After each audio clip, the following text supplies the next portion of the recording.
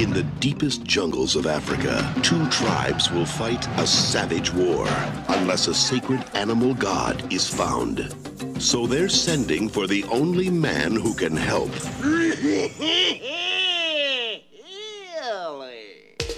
Jim Carrey is Ace Ventura, pet detective.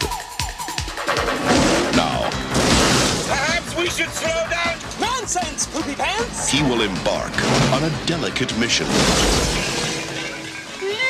To help a people untouched by civilization. They did not know about disease until the white man came. Ah, I am fighting something.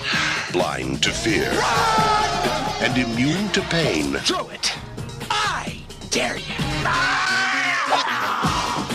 Oh, oh, ow, ow, He'll gain the respect of the tribe. Discover the animal within and answer when nature calls.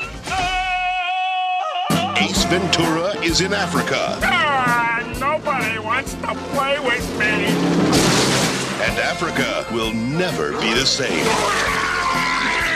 I'm alive! I'm alive!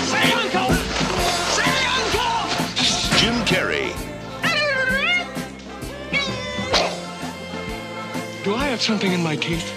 Ace Ventura, when nature calls. Say hello to my stinky little friend!